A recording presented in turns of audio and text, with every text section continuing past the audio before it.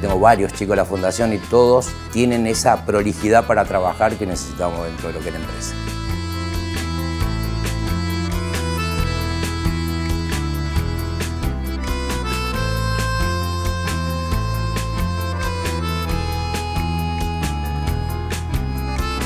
Cuando me llega la propuesta de Forge, estaba en el último año de la secundaria.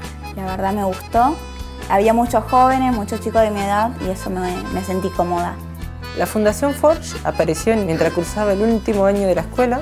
Yo ahí aproveché mucho con las actividades como para desarrollarme y me gustaba.